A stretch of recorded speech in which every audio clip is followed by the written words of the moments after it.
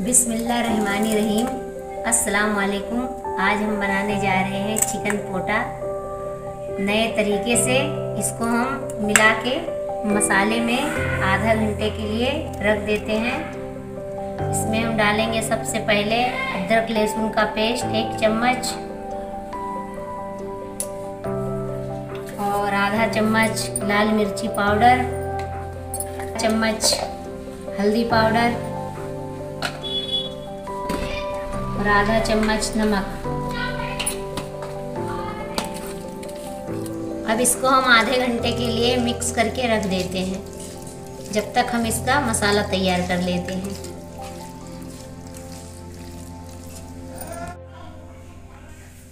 आधा kilo port कलेजी बनाने के लिए हमारे मसाले रेडी है, इनको हमें पीसना है। ये हमने लिया है थोड़ा सा जीरा, करीबन एक चम्मच है।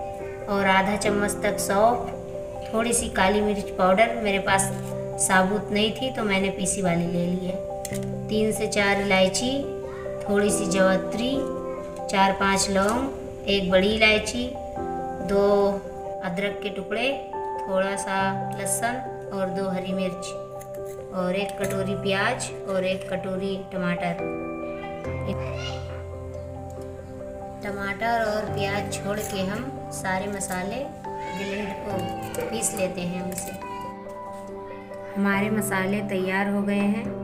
अब इसमें हम थोड़ा धनिया डाल के पीस लेते हैं। धनिया थोड़ा मोटी है, इसलिए हम थोड़ा इसे बारीक कर लेते हैं।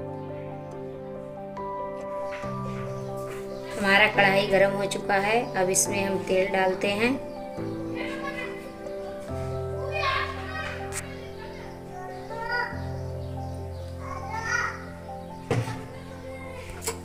अब हमारा तेल गरम हो गया है। अब इसमें हम प्याज डाल देते हैं।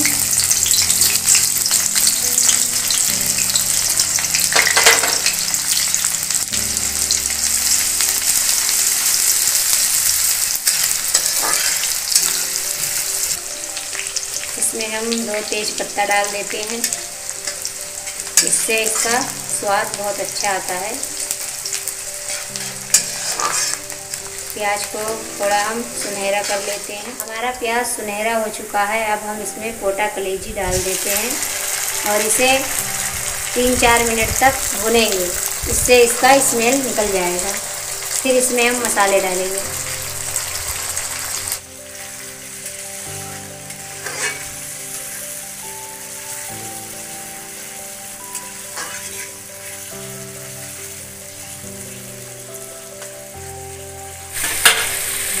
अब देखिए हमारा कलेजा कोटा भुन गया है अच्छे से।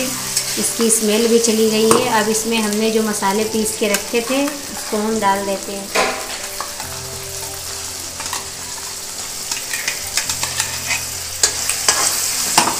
और जो हमने टमाटर काट के रखा था, उसको भी इसमें हम डाल देते हैं। एक चम्मच हम लाल मिर्ची पाउडर डाल देते हैं। तो आधी चम्मच हल्दी पाउडर। अब इसमें हम थोड़ा पानी डाल देते हैं। और हमने नमक पहले डाला था, इसीलिए हम आधी चम्मच और डालते हैं। नहीं तो ज़्यादा हो जाएगा फिर। अब इसे हम 15 से 20 मिनट के लिए पकने के लिए छोड़ देते हैं।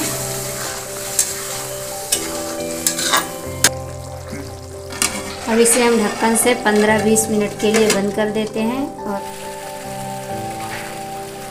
अब हमारा कोटा कलेजी भुन गया है। अब इसमें हम थोड़ा सा पानी ऐड करेंगे। आपको जितना पानी डालना है, आप डाल सकते हैं।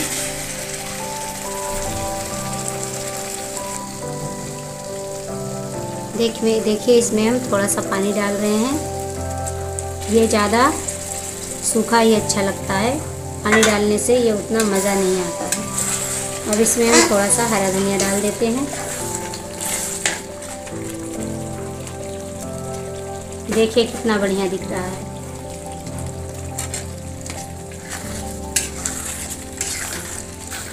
एक से दो मिनट तक हम इसे पकाएँगे, बस हो गया हमारा तैयार। देखिए कितना बढ़िया तैयार हुआ है बनके, लाजवाब है।